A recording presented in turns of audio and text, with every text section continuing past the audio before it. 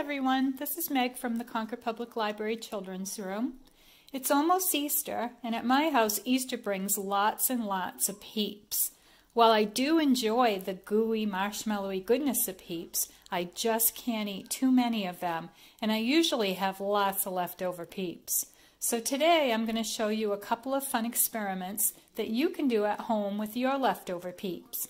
But because these experiments involve the microwave oven and heat, the peeps will get pretty hot. So I want you to make sure to ask an adult to help you with your experiments. To get started, let's gather these supplies. So you're going to need peeps, and you can use either bunnies or chicks or a combination of both, and you can use any color that you want. I have pink, yellow, and blue sorted peeps here. And then you're going to need a microwave safe plate like an uncoated paper plate or you could use a little glass plate, some toothpicks, an empty water bottle, and we are going to cut the water bottle at the first line. So you want to go ahead and cut that down. And then you, for another experiment, you're going to need a, like a little pie plate or some kind of a plate that's raised up so that you won't have to worry about water leaking all over the place.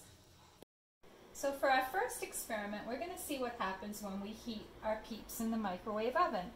I'm going to take a couple of peeps. I'm going to do a pink bunny and a yellow chick. And I want you to think for a minute about what will happen when we add heat. Do you think they'll shrink? Or are they going to grow larger? Let's find out. Okay, we're going to start by putting our peeps in the microwave oven. Set your timer to 30 seconds and start. Then watch what happens. Oh my gosh, they're getting really big. Did you guess right? Did you say that your peeps were going to expand? Just look how big those peeps are. My goodness. Then just watch for a little bit while they cool down. Are they going to shrink again? What do you think? So what's the science behind it? Peeps, like other marshmallows, are basically thousands of teeny tiny air bubbles surrounded by thin walls of gelatin and sugar syrup. So if you take one of your peeps and look at side view, you can see a bunch of tiny little holes. When they're microwaved, the water molecules in the syrup begin to vibrate and heat up. They quickly turn to steam and fill the air pockets in the marshmallow, causing them to expand. That's why you see your peeps grow. Okay, and now just for fun, I'm going to have you take a couple of peeps. I've got two chicks. And we're going to put a toothpick in each one. You're going to have them facing each other. And then we're going to heat them up in the microwave and see what happens. Now we're going to put the chicks in the microwave oven. Set your timer for 20 seconds. Start and watch what happens.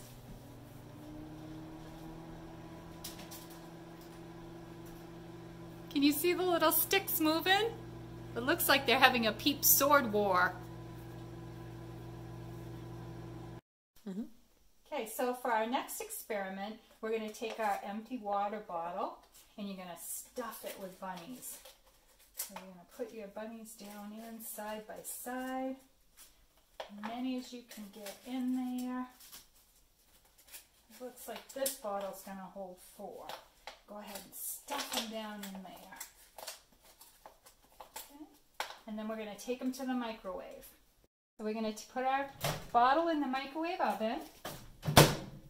Start your timer for one minute and watch.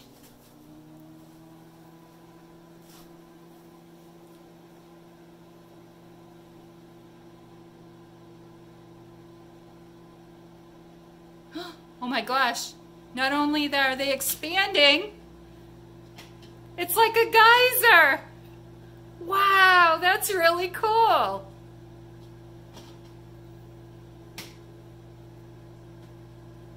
I don't think we need any more time. 30 seconds was long enough. Let's stop and watch. Oh my gosh, and now it's all shrinking back down again. Wow, it was like lava. Now that should be pretty hot, so I wouldn't touch that yet. Let it cool for a little bit before you touch it. For our last experiment, let's find out what happens when we get our peeps wet. We'll place colorful peep chicks in a circle in a pie plate or another waterproof plate. Then we're going to pour water in the center until the peeps are partially covered.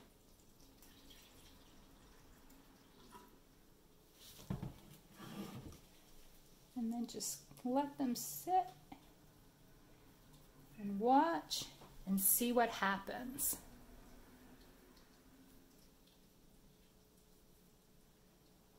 Can you see the colors starting to run?